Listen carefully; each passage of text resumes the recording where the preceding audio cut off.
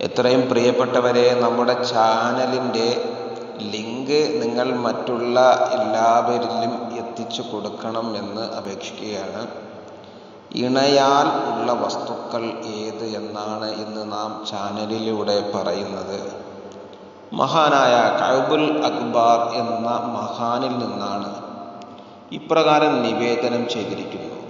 ഇബിലീസിന്റെ ഒരു സഹായി മനുഷ്യരൂപത്തിൽ ഒരു പണ്ഡിതന്റെ അടുക്കൽ വന്ന് ഇപ്രകാരം സംഭാഷണം നടത്തി.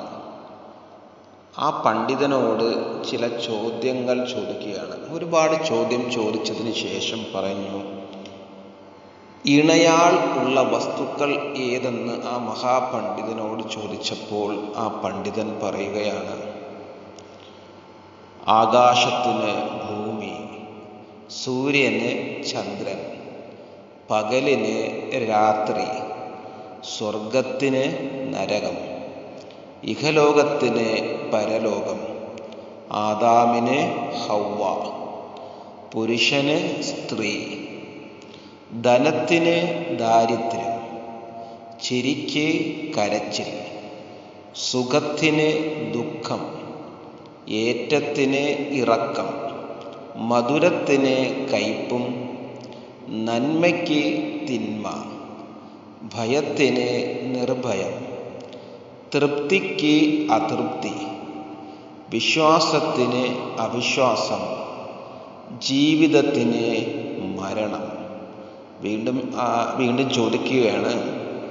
ആദം ഹൗവ ഇബിലീസ് എന്നിവരും പാമ്പും മയിലും സ്വർഗത്തിൽ നിന്ന് എവിടെയാണ് ഇറങ്ങി താമസിച്ചതെന്ന് ആ പണ്ഡിതനോട് ചോദിക്കും. അപ്പോൾ ആ പണ്ഡിതൻ അതിന്റെ ഉത്തരം പറയുകയാണ്.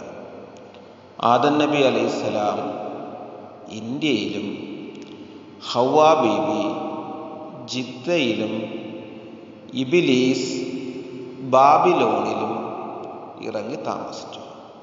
പാമ്പാണെങ്കിലോ സീജിസ്ഥാനിലും മയിൽ ഇന്ത്യയുടെ പാർശ്വഭാഗത്തും ഇറങ്ങി താമസിച്ചു. മറ്റൊരു മഹാന്മാരുടെ മൊഴിമുത്തുമായിട്ട് കഥയുമായിട്ട് മറ്റു ചരിത്രങ്ങളുമായിട്ട് അടുത്ത വീഡിയോയിൽ നമുക്ക് കേൾക്കാം.